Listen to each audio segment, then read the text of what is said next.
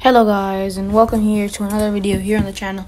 Sorry for not uploading for much, but we are going to be talking about the preview for Barcelona versus Sevilla.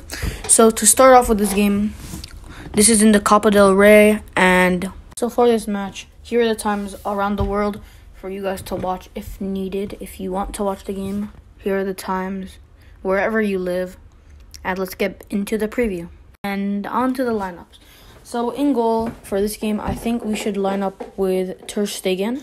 At right back in this game, I think we should line up with not Serginho Dest because um he still has a little bit of problem, and I don't want to risk him for this one because if he gets another injury like Sergi Roberto, like when we rushed him to play against um uh Granada, um, he can get another injury again, and we don't want that because PSG is coming up soon. So I'm gonna play Mingueza at right back. At left back, I think we should play Jordi Alba. We don't want to go with our strongest strongest team. We want to get some rest because we do have games coming up, and players need rest, such as players like Pedri and such. But I think we should line up with Jordi Alba. At left center back, I think for this one we should go with Samuel Umtiti. Um, he did make a mistake or a couple against Granada, leaving them to score two goals. But I think he should get another chance in this one.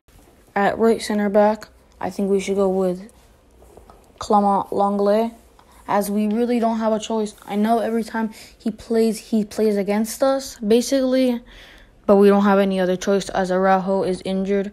And I think Araujo's going to be injured for three weeks, so he's going to miss the first leg against the likes of PSG and the weekend game.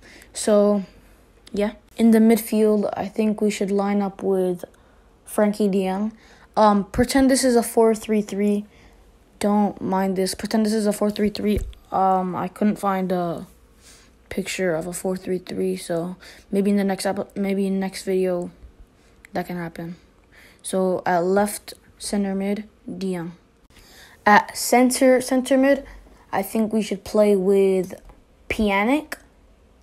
I mean my bad right center mid i think we should play with Pjanic because he hasn't been getting much games recently and when he does he plays pretty well. He didn't he had a decent game, I would say, against Real Betis.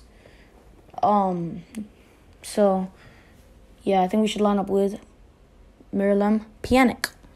In the holding mid position, I think we should play with Riqui Puig.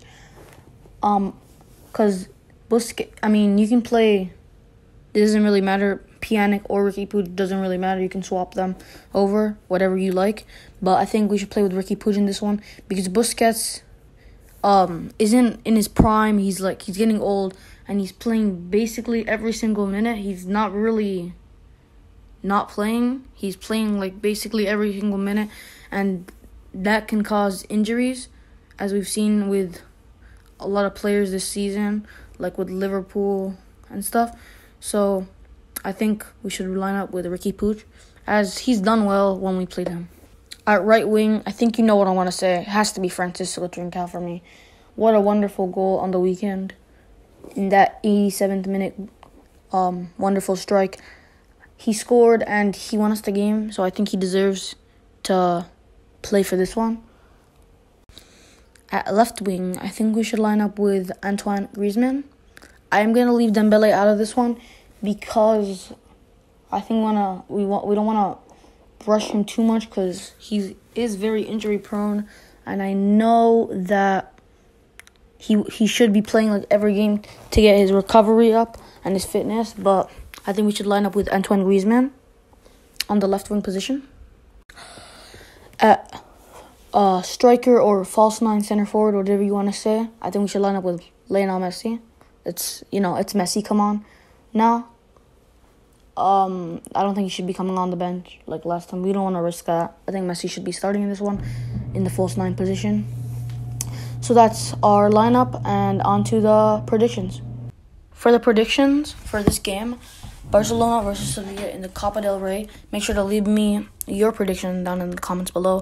For me, I'm to go with 3 1 Barcelona. I think Messi will score one, and I think Trincao is going to score one, and Frenkie de Jong.